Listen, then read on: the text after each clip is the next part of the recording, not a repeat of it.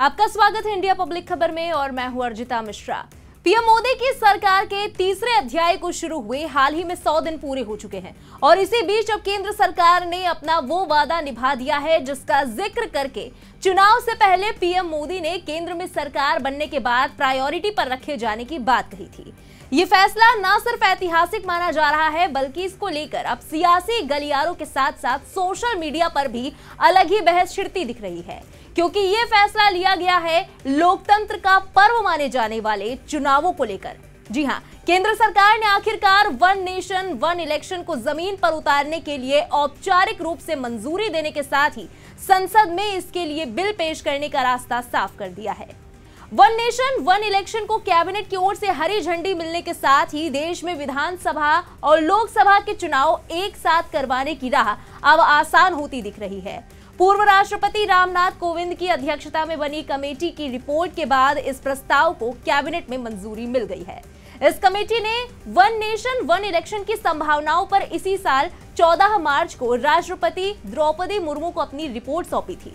18,626 पन्नों की इस रिपोर्ट में जो सुझाव दिए गए उसके मुताबिक पहले कदम के रूप में लोकसभा और राज्य विधानसभाओं के चुनाव के साथ कराए जाने चाहिए। समिति ने आगे सिफारिश की कि लोकसभा और राज्य विधानसभा चुनाव एक साथ संपन्न होने के 100 दिन के भीतर स्थानीय निकाय चुनाव भी हो जाने चाहिए। इससे पूरे देश में एक निश्चित समय अवधि में सभी स्तर के चुनाव संपन्न कराए जा पाएँगे। वर्तमान में राज्य विधानसभाओं और लोकसभा के चुनाव अलग अलग आयोजित किए जाते हैं। यह गौर करने वाली बात है कि पूर्व राष्ट्रपति रामनाथ कोविंद की अगुवाई में बनी इस समिति ने बासठ पॉलिटिकल पार्टी से कांटेक्ट किया था। इनमें से 32 ने एक देश एक चुनाव का समर्थन किया था, जबकि 15 पार्टियाँ इसके विरोध में थी। 15 ऐसी पार्टियाँ थी जिन्होंने कोई जवाब नहीं दिया था, जिनसे संपर्क किया गया। इनमें केंद्र की एनडीए सरकार में बीजेपी के अलावा चंद्रबाबू नायडू की टीडीपी नीतीश कुमार की जेडीयू और चिराग पासवान की एलजेपीआर बड़ी पार्टियाँ हैं। जेडीयू और एलजेपीआर तो एक देश, एक चुनाव के लिए राज़ी हैं, जबकि TDP, Jharkhand Mukti Morcha, Indian union, मुस्लिम लीग समेत पंद्रह पार्टियों ने कोई जवाब नहीं दिया था। वहीं कांग्रेस, सपा, आम आदमी पार्टी, सीपीएम और बसपा समेत पंद्रह पार्टियों ने इसका विरोध किया था।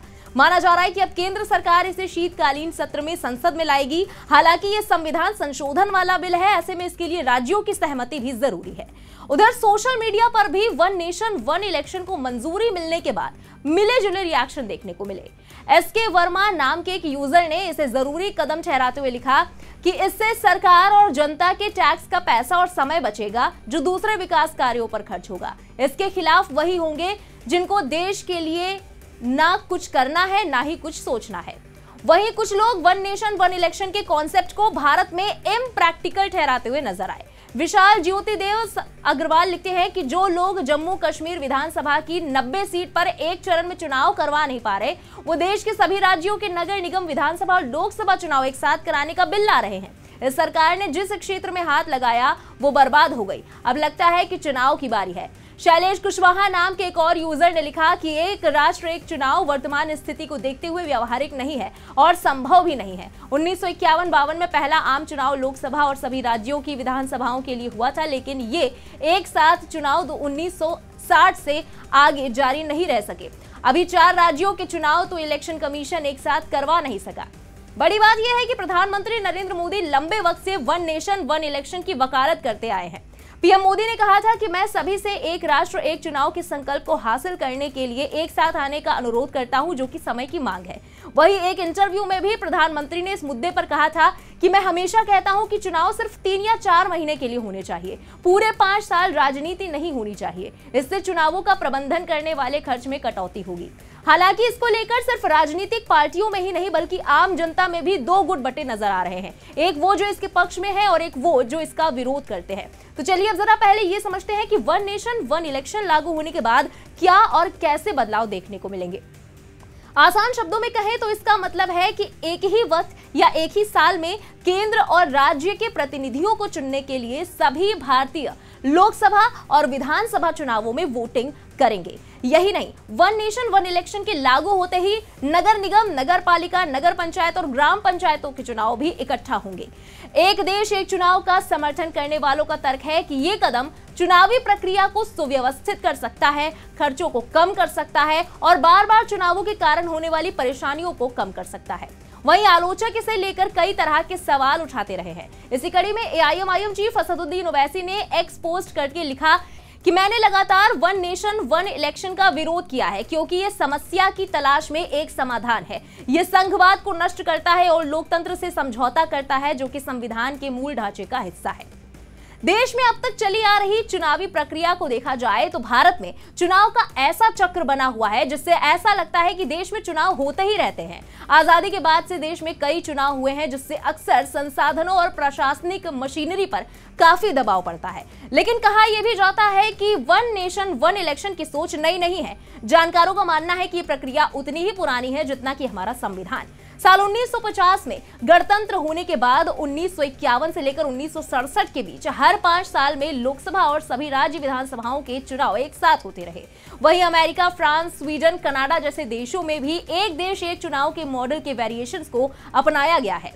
लेकिन भारत जैसे दुनिया के सबसे बड़े लोकतांत्रिक देश में वन नेशन, वन इलेक्शन को लागू करने की कई चुनौतियाँ भी हैं। लोकसभा और विधानसभा का कार्यकाल पाँच वर्षों का होता है, लेकिन इसे उससे पहले भी भंग किया जा सकता है। ऐसे में सरकार के सामने चुनौती होगी कि एक देश एक चुनाव का क्रम कैसे बरकरार रखा जाए। एक देश एक चुनाव पर देश के सभी दलों को एक साथ लाना सबसे बड़ी चुनौती होगी, क्योंकि इस पर सभी पार्टियों के अपने अपने अलग अलग मत है।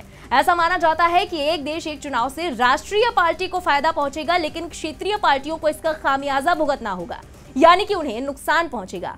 फ़िलहाल देश में लोकसभा और विधानसभा चुनाव अलग अलग होते हैं, जिस वजह से ईवीएम और वीवीपैट की भी लिमिटेड एडिशन है। लेकिन अगर एक देश एक चुनाव होते हैं तो एक साथ इन मशीनों की ज़्यादा मांग होगी, जिससे पूर्ति करना बड़ी चुनौती साबित हो सकता है। साथ ही अगर एक साथ चुनाव कराए जाते हैं तो अतिरिक्त अधिकारियों और सुरक्षा बलों की भी ज़रूरत पड़ेगी, ऐसे में यह भी एक बड़ी चुनौती होगी। बहरहाल, वन नेशन, वन इलेक्शन को लेकर कैबिनेट से मंजूरी मिलना एक ऐतिहासिक राजनीतिक कदम के तौर पर देखा जा रहा है। हालाँकि ये मुद्दा बहुत बहस का विषय भी रहा है। ऐसे में तमाम विरोधों के बीच अब ये देखना दिलचस्प होगा कि संसद के विंटर सेशन में ये बिल पास हो पाता है या नहीं। लेकिन फ़िलहाल इस मुद्दे पर आपका क्या कहना है? कमेंट में लिखकर हमें अपनी राय ज़रूर बताएँ। बने रहे इंडिया पब्लिक खबर के साथ हमारे यूट्यूब चैनल को सब्सक्राइब करें बेलाइकन दबाना बिल्कुल न भूलें।